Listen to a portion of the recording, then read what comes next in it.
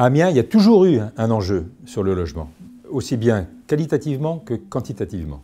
À cause du dynamisme de la ville et de l'agglomération, on a toujours manqué de logements. On a fait des efforts, il en a toujours manqué dans toutes les catégories. On peut dire qu'aujourd'hui, il faudrait entre 500, 700, peut-être 1000 logements par an pour rattraper le retard, à condition de faire des logements de grande qualité, parce que les Aménois sont sensibles non seulement à être bien logés, mais à être logés dans des bâtiments à l'architecture de qualité. Le dynamisme de la ville, on le tient à mon avis avec euh, trois, locomotives, on va appeler ça comme ça. Euh, d'abord, euh, le grand centre hospitalier régional, qui est probablement le, plus gros investissement de l'État au cours des dernières années. Je crois que sur le plan historique, la première faculté qui s'est implantée à Amiens, c'était la faculté de médecine. Elle a grossi, c'est devenu un pôle d'excellence vraiment dans l'université de Picardie-Jules Verne. Et à ce pôle d'excellence, il fallait adosser un grand centre hospitalier, régional et universitaire. Ainsi euh, sont arrivés euh, des professeurs de médecine, sont arrivés euh, naturellement du personnel soignant, et tout cela fait un appel d'air. Et cet appel d'air nécessite bien sûr aujourd'hui eh des logements. Deuxièmement, l'université, parce que Amiens a en nombre d'étudiants 20% de sa population.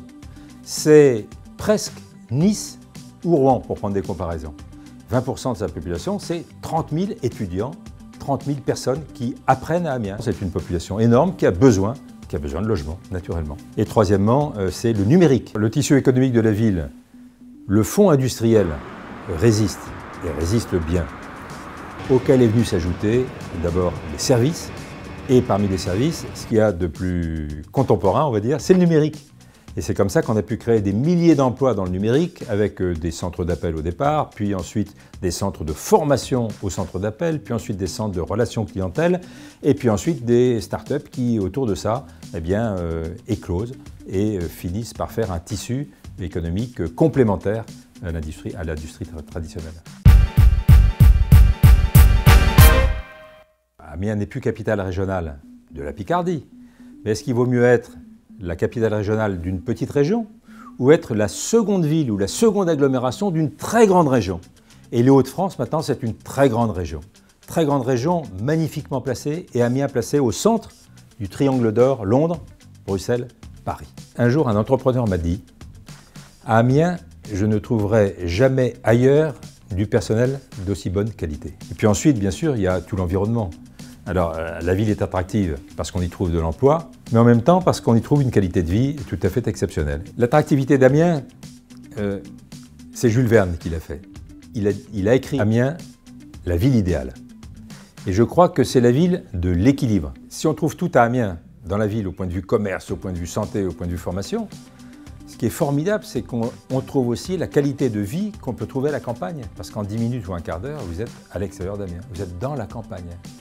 Et vous pouvez suivre le cours de la Somme pour vous trouver dans euh, la baie de Somme, la réserve du Marcanterre, la baie de Somme qui est euh, classée par l'UNESCO, l'une des plus belles baies du monde. À Amiens aujourd'hui, on a besoin euh, de toute la palette de logements.